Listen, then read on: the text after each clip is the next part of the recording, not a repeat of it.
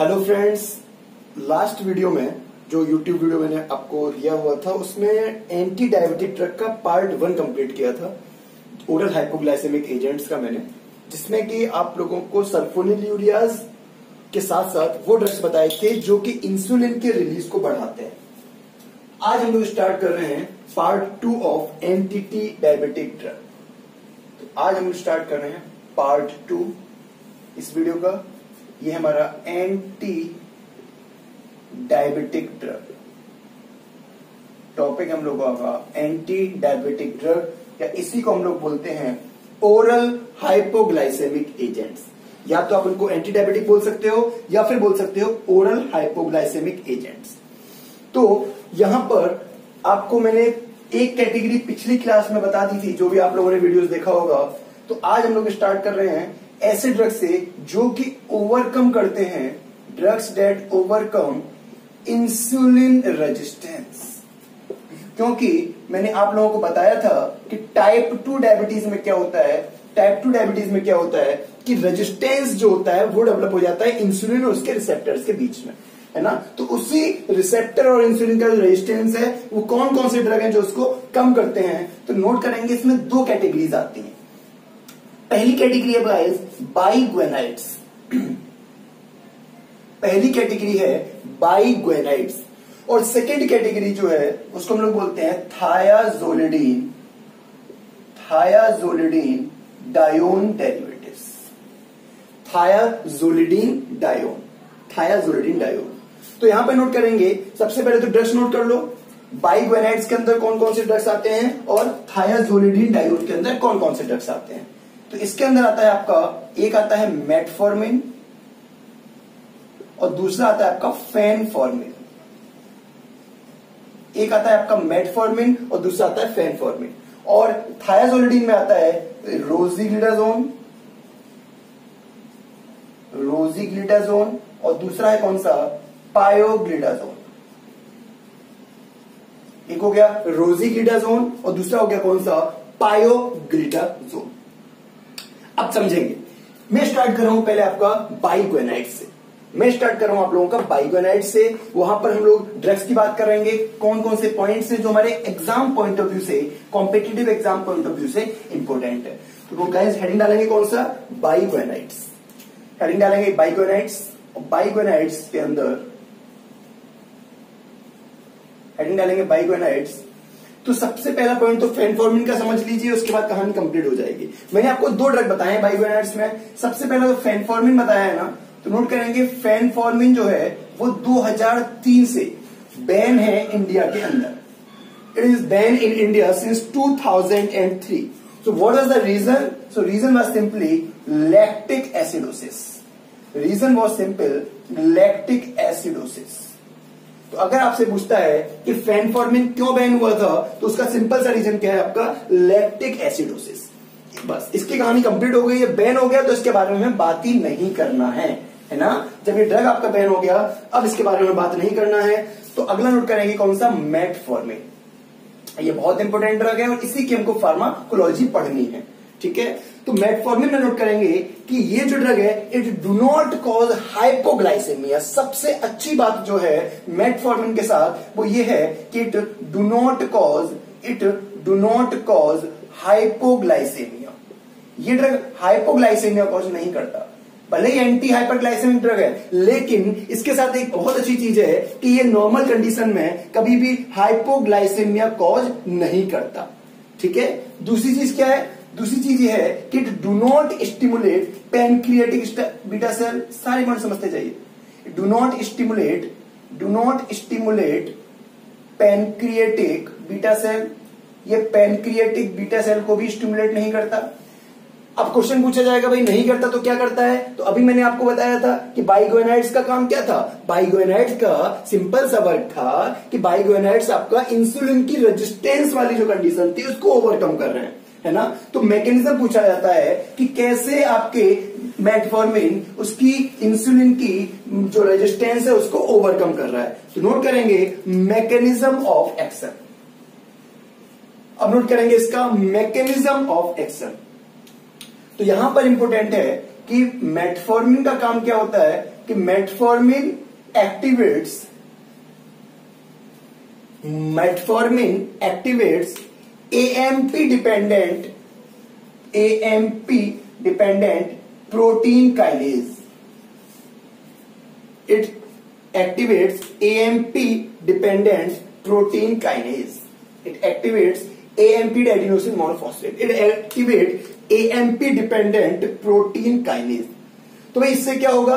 अगला point note करेंगे। इससे होगा ये ये क्या करता है? सिंपल इसको एक्टिवेट कर देता है प्रोटीन काइनेज का एंजाइम है सिंपल अब ये क्या करेगा? लिवर में काम करता है। तो लिवर में क्या करता है कि it suppress it suppress hepatic gluconeogenesis gluconeogenesis. बस यही आपकी लाइन है जो एग्ज़ाम में आती है। भाई अगर क्या होगा मेटफॉर्मिन इस एंजाइम को एक्टिवेट कर देगा, जिससे जो हिपैटिक लिवर के अंदर ग्लूकोज बन रहा था ग्लूकोनियोजेनेसिस हो रही थी। मैंने आपको कल बताया था लास्ट वीडियो में कि ग्लूकोनियोजेनेसिस का मतलब क्या है। मतलब ग्लूकोज का बनना है ना? तो क्या करेगा? ग्लूकोनियोजेनेसिस को सप्रेस कर देगा और जो ग्लूकोज का आउटपुट है, उसको भी सप्रेस कर देगा। And also suppress glucose output मतलब इसका मेन काम यही है कि ये हिपेटिक ग्लूकोन्यूजेनेसिस को सप्रेस करता है और आपका दूसरा काम क्या करता है? ग्लूकोज के आउटपुट को कम कर देता है। ग्लूकोज के आउटपुट को कम कर देता है। अगला पॉइंट क्या है? कि it enhance insulin mediated glucose uptake it enhance it enhance insulin mediated insulin mediated glucose uptake मतलब ये जो इंसुलिन मीडिएटेड ग्लूकोज है, उसके अपटेक को बढ़ा देगा। तो पूरा के पूरा जो ग्लूकोज है, या जो ज़्यादा अमाउंट में ग्लूकोज है, वो कहाँ चला जाएगा आपका? स्टोर हो जाएगा जाके स्केलेटल मसल्स में। ठीक है? तो ज़्यादा से ज़्यादा ग्लूकोज है, वो जाके आपका स्टोर हो जाएगा। कहाँ पर स्केलेटल मसल्स में। किस फॉर्म में? In the form of glycogen मतलब मेटफॉर्मिन क्या करता है? मेटफॉर्मिन ज़्यादा से ज़्यादा ग्लूकोज को या तो क्या करेगा? वो ग्लूकोन्यूजेनेसिस को ही स्टॉप कर देगा सप्रेस कर देगा हेपेटिक के अंदर, ठीक है? दूसरा, जो इंसुलिन मीडिएटेड ग्लूकोज है, उसके अपटेक को बढ़ा देगा, उसको कहाँ स्टोर कर देगा? स्केलेटल मसल्स में। कहा? स्केलेटल मसल्स में in the form of glycogen in the form of glycogen अगर एक और पार्ट मैकेनिज्म का पूछा जाए तो नोट कर लेंगे, कि it interferes with it interferes with it interferes with mitochondrial respiratory it interferes with mitochondrial respiratory chain which promotes glucose utilization. It interferes with mitochondrial respiratory it interferes with mitochondrial respiratory chain जो respiratory chain होती है उसको interfere करता है। ठीक है? It interferes with mitochondrial respiratory chain that promotes peripheral glucose utilization मतलब जो भी आपका ग्लूकोज का यूटिलाइजेशन है, जिससे आपका ग्लूकोज का यूटिलाइजेशन बढ़ जाएगा। ठीक है? मतलब कहने वाली बात यह है कि जो आपका मेटफॉर्मिन है, वो माइटोकॉन्ड्रियल रेस्पायरेटरी चेन को एक्टिवेट करता है या इंटरफेयर करता है, जिससे कि ग्लूकोज का जो यूटिलाइजेशन है, जो ग्लूकोज का यूटिलाइजेशन है पेरीफेरी में, वो इंक्रीज हो जाएगा। ठीक है? तो कुल मिला है कि ग्लूकोज आपका ब्लड में बहुत ज़्यादा अमाउंट में नहीं रहेगा। इसका हमारा मेन मोटो यही होता है। तो गाइज़ ये हो गया पूरा मैकेनिज्म किसका? आपका मेटफॉर्मिन का। ये हो गया मैकेनिज्म किसका? आपका मेटफॉर्मिन का। अब आगे चलते हैं। मेटफॉर्मिन के मैकेनिज्म के बाद फिर आता है आपका इसका फार्मेकोकाइनेटिक्स पैरामीटर क्या क्या है?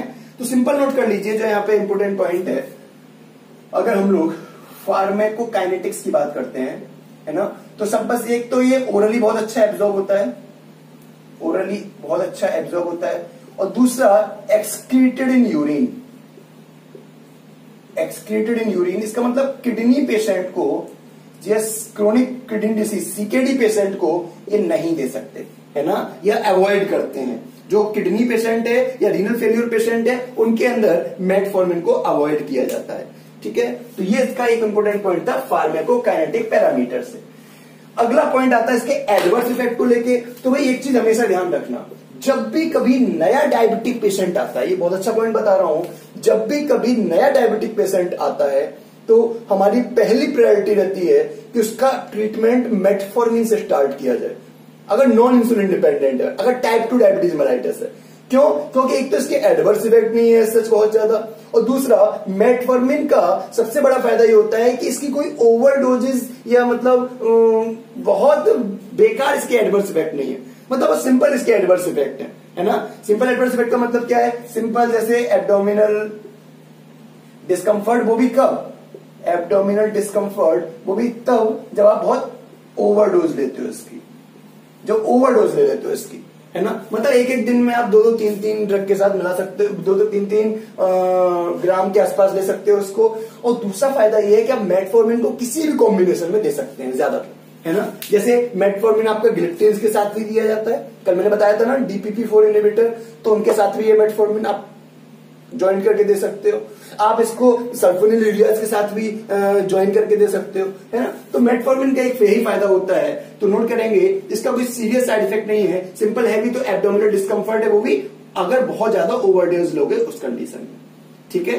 दूसरी चीज़, अगर एक, अगर एडवर्स इफ़ेक्ट पूछा जाए एग्ज़ाम में तो बस इतना ध्यान रखना कि अगर आप मेटफॉर्मिन की ओवरडोज दे रहे हो तो उस कंडीशन में विटामिन बी ट्वेल्व के एब्जॉर्प्शन को थोड़ा सा ये इंटरफियर करेगा। या बोल सकते हो कि मेटफॉर्मिन के ओवरडोज में बी ट्वेल्व की डेफिशिएंसी हो सकती है।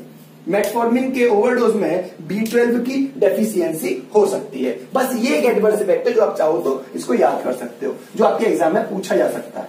ठीक है? लेकिन इसके फ़ायदे भी है कुछ। फ़ायदा क्या है? सबसे पहला फ़ायदा तो ये है कि आप मेटफॉर्मिन को क्यों देते हैं जनरली कि ओबेस पेशेंट को दे सकते हो। ओबेस पेशेंट को आप मेटफॉर्मिन दे सकते हो। ये इसका फ़ायदा है मेटफॉर्मिन का। ठीक है? आप ओबेस पेशेंट को दे सकते हो। दूसरी चीज़, ये एंटी हाइपरग्लाइसेमिक ड्रग है, लेकिन उसके बाद भी ये हाइपोग्लाइसेमिया वाली कंडीशन कॉज नहीं करता। मतलब इमरजेंसी कंडीशन जो आ सकती है, उसकी टेंशन नहीं खत्म।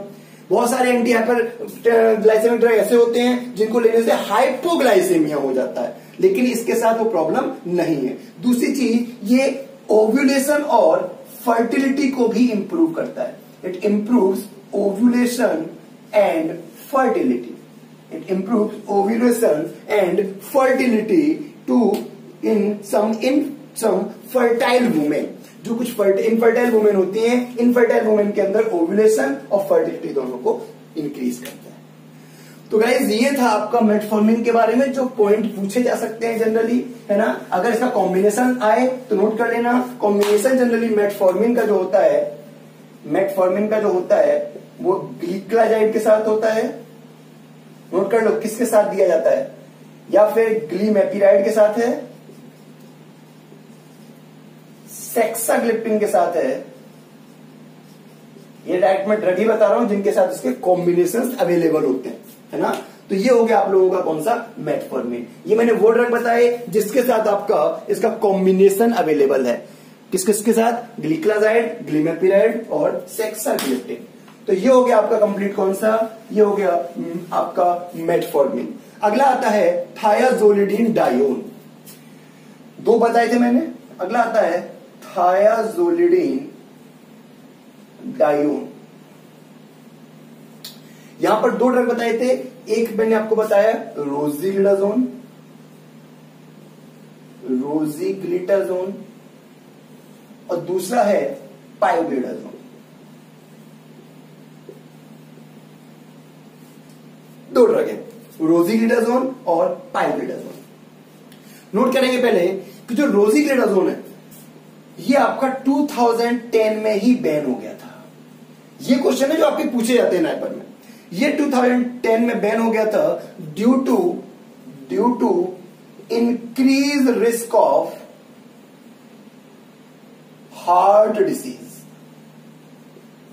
heart disease heart disease के कारण इसको बैन कर दिया गया था 2010 में। लेकिन बाद में यूएसए ने इसका बैन हटा दिया, लेकिन बाकी सब जगह अभी भी ये बैन है। USA lifted ban after some time but even now days in India even it is ban till now ठीक है? तो रोजिटाजोन के साथ क्या था? कि 2010 में बैन कर दिया गया था due to increase in risk of the heart disease लेकिन जब बात करते हैं पाइब्रिडाजोन अब देखो बैन है तो उसके बारे में पढ़ना ही नहीं है। लेकिन अगर आप बात करते हो पायोलिडाजोन के बारे में तो नोट करेंगे, ये भी आपका जून 2013 जून 2013 में बैन हो गया था। ये बैन वाले क्वेश्चन बहुत पूछता है। जून 2013 में बैन हो गया था पायोलिडाजोन क्यों? Due to carcinoma in due to carcinoma of urinary bladder bladder carcinoma के कारण 2013 में इंडिया में ये बैन हो गया था। ठीक है? बाद में इसको ये कहकर मार्केट में उतारा कि this drug should not be it should not be use as first line anti hyperglycemic drug first line drug के तौर पे इसको यूज़ नहीं करना, ये कहकर इसको मार्केट में बाद में उतारा गया था। किसको पायोलिडाजोन को। मतलब इसको बैन होने के बाद फिर से मार्केट में आ गया था। उसका रीजन यही है, आज भी है। पायोलिडाजोन आज भी है, लेकिन इसको हटाया क्यों गया था? उसका रीजन याद रखना कार्सिनोमा ऑफ़ यूरिनरी ब्लैडर ठीक है? तो गाइज़ ये था आपका पायोलिडाजोन के बारे में। अब नोट कर लीजिए भाई कि क्या इसका मैकेनिज्म होता है? तो they are these are selective agonist for PPAR gamma. These are selective agonist for PPAR gamma. This is your nuclear receptor. This is your nuclear receptor. This is your nuclear receptor. PPAR is your peroxisome proliferator peroxisome proliferator, activated receptor activated receptor gamma ठीक है? PPR को बोलते हैं peroxisome proliferator activated receptor gamma तो ये क्या करता है? इसको एक्सप्रेस कर देता है। ये रिसेप्टर कहाँ होते हैं? तो ये भी नोट कर लो, ये रिसेप्टर जनरली फैट सेल्स पे होते हैं। फैट सेल्स और मसल्स वहाँ पर प्रेजेंट होते हैं ये रिसेप्टर ठीक है? तो फैट सेल्स या मसल्स में जो आपके पीपीएआर गामा रिसेप्टर है, उसका सिलेक्टिव एगोनिस्ट होता है थायाजोलिडीन डायोन क्लियर हो गया? अगला पॉइंट अगला पॉइंट आता है इसका मैकेनिज्म क्या है भाई? ठीक है? इसका भी एगोनिस्ट अगर एक्शन है इसका, इस रिसेप्टर पे अगर ये एगोनिस्टिक एक्शन शो कर रहा है तो उससे क्या होगा? तो नोट करेंगे it enhance the it enhance the transcription of note करेंगे it enhance the transcription of several insulin responsive genes it enhances the transcription of several insulin responsive genes. जो इंसुलिन रिस्पॉन्सिव जीन्स होते हैं, उसमें change कर देता है, उसमें transcription cause कर देता है। ठीक है? जिससे क्या होगा? डेट लीड्स टू नोट करेंगे that leads to reverse insulin resistance that leads to reverse जिससे क्या होगा? इंसुलिन रेजिस्टेंस रिवर्स हो जाता है। Reverse to insulin resistance reverse insulin resistance तो बस सीधी बात यह है कि जो इंसुलिन रिस्पॉन्सिव जीन है, उनके अंदर ट्रांसक्रिप्शन कॉज कर देता है। ठीक है? और ट्रांसक्रिप्शन कॉज कर देगा तो क्या होगा? उनका जो इंसुलिन का रेजिस्टेंस है, वो रिवर्स हो जाएगा by the process of translocation ठीक है? ट्रांसलोकेशन के थ्रू उसका क्या हो जाएगा? रेजिस्टेंस वापस हो जाएगा। एक क्वेश्चन और पूछा जाता है भैया पे एक क्वेश्चन ये पूछा जाता है कि भाई पीपीएआर गामा जो है रिसेप्टर आपका पीपीएआर गामा जो रिसेप्टर है, उसका कौन कौन से जीन्स हैं जो उससे रेगुलेट होते हैं?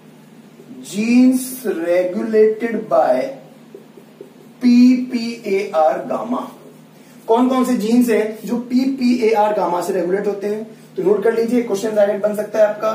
सबसे पहला है एडिनोपेक्टिन सबसे पहला आपका कौन सा? एडिनोपेक्टिन दूसरा नोट करेंगे फैटी एसिड ट्रांसपोर्ट प्रोटीन दूसरा नोट करेंगे फैटी एसिड ट्रांसपोर्ट प्रोटीन दूसरा फैटी एसिड ट्रांसपोर्ट प्रोटीन अगला है insulin receptor substrate insulin receptor substrate ठीक है? चार होते हैं और एक होता है आपका कौन सा? तो बहुत कॉमन है ग्लूट फोर बस, ये आपके वो genes that are regulated by PPAR gamma that are regulated by PPAR gamma ठीक है? एक और लास्ट पॉइंट बता देता हूँ, जो पूछा जाता है जनरली कि अगर दो ड्रग है, एक रोजिग्लिडाजोन है और पाइब्रिडाजोन है है ना? ये मैंने ऊपर दो ड्रग लिखे हुए हैं, एक रोजिग्लिडाजोन है और एक पाइब्रिडाजोन है। तो नोट करेंगे कि अगर पूछा जाए रोजिग्लिडाजोन में तो it increases HDL as well as LDL हमारे लिए जो एलडीएल होता है ना, ये ज़्यादा खतरनाक होता है एचडीएल इतना खतरनाक नहीं है। पाइब्रिडाजोन का क्या होता है? कि केवल एचडीएल को बढ़ाता है एलडीएल को नहीं बढ़ाता। इसलिए पाइब्रिडाजोन ज़्यादातर हम लोग प्रिफर्ड ड्रग है इसी रीजन से, क्योंकि एलडीएल के लेवल को नहीं बढ़ाता। ठीक है? हाँ एक और चीज़ क्या बढ़ाते हैं अगर दोनों ड्रग तो ये आपका वेट को भी बढ़ाते हैं। मतलब these drugs also causes weight gain ठीक है? वेट गेन में मैंने एक और कौन सा बताया था? वेट गेन मैंने आपको एक कौन सा बताया था? एक मैंने आपको वेट गेन बताया था मेटफॉर्मिन क्योंकि ओबेस पेशेंट में उसको यूज़ कर सकते हैं। है ना? ऑबेस पेशेंट में उसको यूज़ कर सकते हैं। चलिए तो ये हो गया आप लोगों का सॉरी वेट गेन नहीं है। ओबेस पेशेंट में यूज़ कर सकते हैं, इसका मतलब वेट गेन नहीं करता वो। उसको करेक्ट करेंगे, अगर मैंने गलत बोला होगा तो। मेटफॉर्मिन जो होता है वो ओबेस पेशेंट में यूज़ कर सकते हैं, मोटे लोगों में यूज़ कर सकते हैं। इसका मतलब वो वेट गेन नहीं करता वेट लॉस करता है। और सल्फोनिल यूरिया है, वो पतले लोगों में यूज़ करते हैं। क्यों? क्योंकि वो वेट वेट गेन कोस करता है। तो ये हुआ आपका थायाजोलिडिन डायोन कंप्लीट, ठीक है? तो ये हो गए आप लोगों के वो ड्रग जो इंसुलिन रेजिस्टेंस को, ये कैसे रेजिस्टेंस को ओवरकम कर रहा है? ये ओवरकम कर रहा है जीन में ट्रांसक्रिप्शन करके, है ना? जीन में ट्रांसक्रिप्शन करके। वो कैसे रेजिस्टेंस कॉज कर रहा था? ओवरकम कर रहा था आपका metformin AMP mediated protein kinase के थ्रू चलिए, अब आते हैं हमारा और कौन कौन सी कैटेगरी है? मैंने आपको अभी तक जो बताया, उसके बाद नोट करेंगे मिसलेनियस कैटेगरी ये इसलिए इंपॉर्टेंट है क्योंकि इनका मैकेनिज्म पूछ लेता है। तो सबसे पहले नोट करेंगे, इसमें पहली कैटेगरी आती है alpha glucosidase inhibitor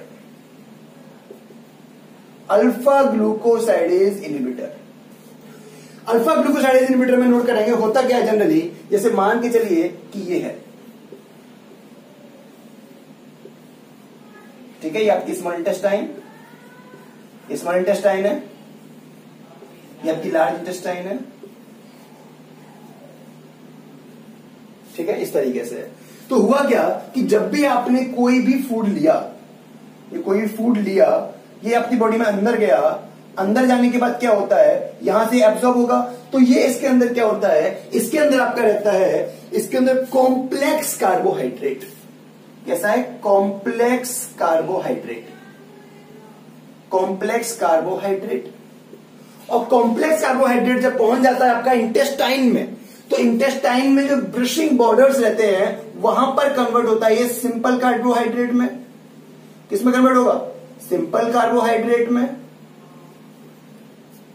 तो जब कॉम्प्लेक्स कार्बोहाइड्रेट से सिंपल कार्बोहाइड्रेट में कन्वर्ट होता है तो यहाँ पर आपका होता है कौन सा एंजाइम अल्फ़ा ग्लूकोसाइडेज इनिबिटर तो ये जो ड्रग होते हैं, ये जो आपका एंजाइम होता है, ये कॉम्प्लेक्स कार्बोहाइड्रेट को सिंपल कार्बोहाइड्रेट में कन्वर्ट करता है। कॉम्प्लेक्स कार्बोहाइड्रेट को सिंपल कार्बोहाइड्रेट में कन्वर्ट करता है। ठीक है? इतना समझ में आ गया ना अब जैसे सिंपल कार्बोहाइड्रेट को मैं कन्वर्ट कर देगा, फिर यहाँ से हमको क्या मिल जाएगा? ग्लूकोज मिल जाएगा। लेकिन हमको मेरी इस एक वाले ड्रग की मैकेनिज्म क्या है? कि ये इस वाले एंजाइम को ब्लॉक कर रहे हैं। जब ये एंजाइम ब्लॉक हो जाएगा ड्रग है जो इसको ब्लॉक करते हैं तो सबसे पहले है ए कार्बोज दूसरा है कौन सा? मिगलीटॉल और तीसरा है आपका वॉगलीबोज नोट कर लीजिए। ए कार्बोज मिगलीटोल और वॉगलीबोज ये तीन ड्रग होते हैं जो आपके अल्फ़ा ग्लूकोसाइडेस को इनहिबिट करते हैं। ठीक है? ए कार्बोज वॉगलीबोज और मिगलीटोल नोट कर लिया इतना? ये तीन ड्रग हो गए रेड पेंसिल जो इधर लिखे हैं। मैं फिर से बोल देता हूँ, एक एकार्बोज मिग्लिटोल और वॉगलीबोज अब प्रॉब्लम क्या है? यहाँ इसके एडवर्स इफ़ेक्ट पे आ जाओ भाई एडवर्स इफ़ेक्ट क्या है? एक बात बताओ, जब ये आपका सिंपल कार्बोहाइड्रेट में कन्वर्ट ही नहीं होगा तो क्या होगा? उस कंडीशन में फर्मेंटेशन स्टार्ट हो जाएगी। जब फर्मेंटेशन स्टार्ट हो जाएगी, आपके स्टमक के अंदर तो आपको डकारे आएँगी, इसको बोलते हैं ना गंदी गंदी डकारे आएँगी खट्टी खट्टी तो ये हो क्यों रहा था? क्योंकि फर्मेंटेशन हो रहा था कार्बोहाइड्रेट का। तो इस कंडीशन में फाइनली क्या होता है? एब्डोमिनल डिस्कंफर्ट होता है। तो एडवर्स इफ़ेक्ट में नोट करेंगे, पहला कौन सा? एब्डोमिनल डिस्कंफर्ट एब्डोमिनल डिस्कंफर्ट या फिर बोल सकते हो लूज स्टूल हो जाते हैं इस कंडीशन में। लूज स्टूल फ्लैट्यूलेंस फ्लैट्यूलेंस है ना कुपच कपच को बोलते हैं, कुपच को फ्लैट्यूलेंस तो ये आपके एडवर्स इफ़ेक्ट हो गए किसके? अल्फ़ा ग्लूकोसाइडेज इनिबिटर के। तो गाइज़ ये हुआ आपकी एक कैटेगरी मिसलेनियस की, कौन सी? अल्फ़ा ग्लूकोसाइडेज इनिबिटर अगला पॉइंट नोट कर लेना इसी में कि ये जो होते हैं ना, ये ड्रग हमेशा जस्ट बिफोर मील लिए जाते हैं। खाना खाने से ठीक पहले। खाना खाने से 10 मिनट पहले लिए जाते हैं alpha glucosidase inhibitor alpha glucosidase inhibitor और ये जो है ना, जैसे एक कार्बोज है तो ये आपके एक कार्बोज के साथ ये फ़ायदा है कि टाइप वन और टाइप टू ये टाइप वन और टाइप टू दोनों ही डायबिटीज़ में यूजफुल है। क्यों यूजफुल है ये ड्रग क्योंकि भाई टाइप वन में भी क्या है, अब जब ग्लूकोज ही नहीं अंदर जाएगा इसका काम क्या ड्रग का? कि ये ग्लूकोज में ही नहीं कन्वर्ट होने दे रहा। जब ग्लूकोज ही अंदर नहीं जाएगा तो फिर आपका इंसुलिन भले ही beta cell pancreatic type one में आपके डिस्ट्रॉय हो जा रही है तो वो क्या करेगा? वो इंसुलिन का काम वहाँ ज़रूरत ही नहीं पड़ेगी। अरे भाई टाइप वन टाइप टू मैंने बताया था। टाइप वन का मतलब क्या बताया था? आप ही की एंटीबॉडी आप ही के आ, उसके बीटा सेल को डिस्टर्ब कर रही है। और टाइप टू में क्या बताया था? रेजिस्टेंस की प्रॉब्लम आ रही थी इंसुलिन रिसेप्टर के बीच में और इंसुलिन के बीच में, है ना? तो मैंने क्या बोला कि जो वॉग्लीबोज ड्रग है आपका वॉग्लीबोज और एक कार्बोज मिलिटोल जब इंसुलिन ग्लूकोज ही अंदर नहीं जाएगा तो क्या आपको इंसुलिन की ज़रूरत है? नहीं। तो इसीलिए टाइप वन टाइप टू दोनों में यूजफुल है। इंसुलिन रिसेप्टर वाली प्रॉब्लम आ रही है, इसलिए टाइप टू में यूजफुल है। इंसुलिन की ज़रूरत पड़ रही थी लेकिन अगर इसको दोगे तो ज़रूरत नहीं पड़ेगी। इसलिए टाइप वन में यूजफुल है। तो गाइज़ ये हुआ आपका कौन सा अल्फ़ा ग्लूकोसाइडेज इनिबिटर कंप्लीट ठीक है? मिसलेनियस में, इसके बाद आपका एक और पॉइंट बचता है मिसलेनियस में। एक और ड्रग बचता है कौन सा? नोट करेंगे S G L T two inhibitor note करेंगे S G L T two inhibitor अब ये और समझ लो शॉर्टकट में। मैकेनिज्म समझ लो, सब चीज़ें जी S G L T two inhibitor का क्या मैकेनिज्म है? जैसे मान के चलिए आप लोगों ने डायबिटिक्स पढ़ा हुआ था। आप लोगों ने डायबिटिक्स पढ़ा हुआ था, है ना? इस तरीके से नेफ्रॉन पढ़ा होगा आप लोगों ने? जैसे कि मुझे उम्मीद है, ऐसा ही होता है कुछ कुछ आप लोगों को ज़्यादा पता है नेफ्रॉन के बारे में? मुझे कुछ ऐसा ही लगता है, ऐसा होता होगा, है ना? तो इसको बोलते हो आप पीसीटी इसको बोलते हो डीसीटी इसको बोलते हो लूप ऑफ़ एनले ये आपका कलेक्टिंग डक्ट ये आपका बॉमिन कैप्सूल आपको मालूम है सारी चीज़ें यहाँ से एब्जॉर्ब हो जाती हैं एक्सेप्ट टू थिंग्स बड़े बड़े प्रोटीन और आरबीसी को छोड़ के। अब जब ये सारी चीज़ें यहाँ आती हैं तो उसमें ग्लूकोज भी होगा ब्लड में क्या होगा? ग्लूकोज भी होगा। अब क्या होता है कि वो ग्लूकोज पीसीटी से 99 परसेंट ग्लूकोज क्या होता है? रीअब्सॉर्ब हो जाता है। है ना? कहाँ पहुँच जाता है? ब्लड में पहुँच जाता है। 99 परसेंट ग्लूकोज आपका रीअब्सॉर्ब होके ब्लड में पहुँच जाएगा। और जिसके थ्रू ये आपका रीअब्सॉर्ब हो रहा है उसी रिसेप्टर का नाम है S G L T two sorry क्या बोलते हैं उसको? चैनल उस चैनल का नाम है S G L T two मतलब sodium glucose GL is glucose note कर लीजिए. Sodium glucose cotransporter two note करें. Sodium glucose cotransporter two sodium glucose cotransporter two मतलब सोडियम ग्लूकोज ट्रांसपोर्टर टू के थ्रू ग्लूकोज का रिएब्जॉर्प्शन होता है। अब क्या होगा? जब ये ब्लड में पहुँच गया तो मैं तो ये चाहता नहीं हूँ कि ब्लड में पहुँचे। तो यहाँ पर कुछ ड्रग्स ऐसे होते हैं जो इस वाले चैनल को इनिबिट कर देते हैं। जब इनिबिट कर देंगे तो क्या रिएब्सॉर्ब हो पाएगा? ग्लूकोज नहीं होगा। तो पूरा ग्लूकोज आपका इस तरीके से यूरिन के थ्रू बाहर चला जाएगा। है ना? तो नोट करेंगे कौन कौन से ड्रग्स हैं जो ये काम करते हैं। सबसे पहला है डापाग्लिफ्लोजिन दूसरा है एम्पाग्लिफ्लोजिन और तीसरा है कैनाग्लिफ्लोजिन। तो गैस ये तीन ड्रग हैं आपके जो इस वाले चैनल को इनिबिट करते हैं। समझ में आ गया ना? डापाग्लिफ्लोजिन एम्पाग्लिफ्लोजिन और तीसरा कौन सा है आपका? कैनाग्लिफ्लोजिन। क्लियर हुआ इतना? एक और इंपॉर्टेंट पॉइंट आपको समझ में आ रहा होगा कि सर ग्लूकोज यूरिन में है, ठीक है? तो यूरिन में क्या ग्लूकोज प्रेसिपिटेट भी हो सकता है? तो यही रीजन होता है कि इन सभी ड्रग्स का जो एक एडवर्स इफ़ेक्ट है, वो होता है यूरिनरी ट्रैक्ट इन्फेक्शन और जेनाइटल इन्फेक्शन है ना? या तो जेनाइटल इन्फेक्शन कॉज करता है, या यूटीआई को कॉज करता है. पहली चीज़. दूसरी चीज़, ये आपका ब्लैडर कार्सिनोमा भी कॉज कर सकता है. हाई केसेस पाए गए हैं ये ब्लैडर कार्सिनोमा भी कॉज करेगा. तो ये हो गया आप लोगों का कौन सा? ये हो गया आपका मिसलेनियस में S G L T two complete ठीक है? तो गाइस ये हो गया आपका मिसलेनियस का। और अब आते हैं, एक और आपका ड्रग दिया हुआ है बुक के अंदर मिसलेनियस में, जिसका नाम है ब्रोमोक्रिप्टीन एक और ड्रग है आपका मिसलेनियस में, जिसका नाम कौन सा है? ब्रोमोक्रिप्टीन तो यहाँ पे नोट करेंगे ब्रोमोक्रिप्टीन का कोई एज सच मैकेनिज्म नहीं है, लेकिन ये क्या करता है? ब्रोमोक्रिप्टीन आपका डायरेक्टली एक्ट करता है डोपामीन पर, आपके हाइपोथैलेमस के अंदर। है ना? ब्रोमोक्रिप्टिन क्या करता है? डोपामिन एगोनिस्ट है। ब्रोमोक्रिप्टिन आपका क्या है? डोपामिन एगोनिस्ट है। और डोपामिन एगोनिस्ट तो क्या कॉज करेगा? तो यहाँ पर ये क्या कॉज करता है? यहाँ पर ये आपका हाइपोथैलेमस के थ्रू डोपामिन के एक्शन को इंक्रीज करेगा। इससे आपका इंसुलिन का, इससे आपका इंसुलिन का जो रेजिस्टेंस होता है इससे आपका इंसुलिन का जो रेजिस्टेंस होता है, वो कैसा हो जाता है? आल्टर हो जाता है। एग्जैक्ट मैकेनिज्म स्टिल अननोन है, लेकिन हाँ ब्रोमोक्रिप्टिन कुछ फ़ायदा दिखाती है डायबिटिक पेशेंट में। नोट कर लीजिए इस पॉइंट को।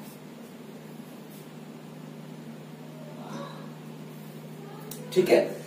तो गाइस ये हो गया मिसलेनियस में ब्रोमोक्रिप्टिन में इतना ध्यान रखना है कि फ़ायदेमंद है डोपामीन के थ्रू एड करता है, और ये क्या करता है? ये आल्टर करता है इंसुलिन की रेजिस्टेंस को।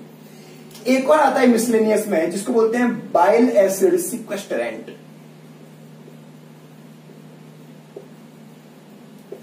एक और आता है जो कुछ थोड़ा सा फ़ायदेमंद है डायबिटीज़ में तो वो आपका बाइल एसिड सिक्वेस्टरेंट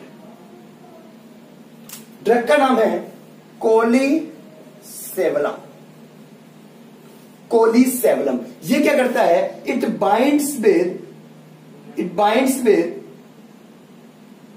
bile acid ये बाइल एसिड इसको ऐसे बोल सकते हो, ये आपका बाइल एसिड बाइंडिंग रेजिन है ये। दिस इज़ और बाइल एसिड बाइंडिंग रेजिन जो बाइंड करने के बाद क्या करता है? कोलेस्ट्रॉल के लेवल को डिक्रीज करता है। ठीक है? It is bile acid binding resin that lowers cholesterol as well as blood glucose as well as blood glucose बहुत ज़्यादा मतलब इतना इंपॉर्टेंट नहीं है कि अभी मार्केट में डायरेक्टली डायबिटीज़ के लिए प्रिफर्ड ड्रग नहीं है, ठीक है? बिकॉज़ इसकी मैकेनिज्म इज़ स्टिल अननोन इसकी मैकेनिज्म अभी तक अननोन है है ना? इसलिए। तो नोट कर लेंगे। दूसरी चीज़, अगर पूछा जाए इसका डायरेक्टली तो ये एफ़ एक्स रिसेप्टर को इनिबिट करता है। एफ़ एक्स रिसेप्टर का मतलब होता है farnesoid X receptor farnesoid sorry X receptor तो ये फार्सिनोइड एक्स रिसेप्टर को इनिबिट करता है है ना? Farnesoid farnesoid farnesoid X receptor को इनिबिट करता है एफ़ एक्स रिसेप्टर को उसके थ्रू काम करता है, लेकिन उसका डायरेक्टली डायबिटीज़ में यूज़ नहीं है बायोलैसिड बाइंडिंग रेजिन है, और कुल मिला के आपका ब्लड ग्लूकोज के लेवल को कम कर रहा है। तो ये हुआ बायोलैसिड सिक्वेस्ट्रेंट ये अभी रिसेंटली एड किया गया है है ना? तो ये हो गया आपके सारे मिसलेनियस के कंप्लीट एक और पॉइंट समझना, जब मैंने आपको डीपीपी फोर इन्वर्टर बताया था तो वहाँ पे मैंने आपको ग्रिप्टिन्स बताए थे। साथ में मैंने ये भी बताए थे कि कौन कौन से जीएलपी एगोनिस्ट है है ना? तो वो जीएलपी एगोनिस्ट मैंने बताया था कि वो ओरल हाइपोग्लाइसेमिक एजेंट नहीं है। वो आपके पेरेंटली रूट से दिए जाते हैं। जैसे इंसुलिन पेरेंटल देते हैं, जैसे नोटी कर लो, कि जो पेरेंट्रल रूट से डायबिटीज़ को सही कर रहे हैं, उसमें एक तो हो गया आपका कौन सा? इंसुलिन एक हो गया आपका कौन सा? जीएलपी वन एगोनिस्ट प्लस लगा दिया एगोनिस्ट ड्रग का नाम है एक्जीटेनाइड और लीराग्लूटाइड एक और नोट कर लेना, जो एमाइलिन होता है ना एमाइलिन जो इंसुलिन की तरीके से ही बीटा सेल में स्टोर रहता है। तो उस अमाइलिन का एक एनालॉग है, इसका काम भी क्या होता है ग्लूकागोन को इनिबिट करना, है ना? ग्लूकोज के लेवल को कम करना। तो इसी का ड्रग एनालॉग है, जिसको बोलते हैं प्रेम लिंटाइड तो बस इसमें इतना याद कर लेना कि ये भी आप पेरेंट्रल रूट से देते हो एमाइलिन एनालॉग ट्रेमलिंटाइड है ना? ये भी आप हम कैसे देते हैं सबक्यूटेनियस रूट से। तो गाइज़ ये हुआ आपका पूरा इंसुलिन को सही डायबिटीज़ को सही करने वाले ड्रग्स ठीक है? तो ओरल हाइपोग्लाइसेमिक एजेंट्स आपका कंप्लीट हो गया पार्ट टू तो इसको आप पार्ट वन पार्ट टू को एक साथ देख लेंगे तो इससे आपका पूरा डायबिटीज़ की जो ड्रग्स है वो कंप्लीट हो जाएँगी और इंसुलिन के पार्ट वन पार्ट टू को देख लेंगे तो आपका इंसुलिन कंप्लीट हो जाएगा। तो इस तरीके से आपकी यूनिट कंप्लीट हो गई। बाकी अगर आपको डाउट रहते हैं तो आप बिल्कुल कमेंट सेक्शन में डाल सकते हैं और मैं आपको उसका रिप्लाई कर दूँगा, है ना? चलिए थैंक यू वेरी मच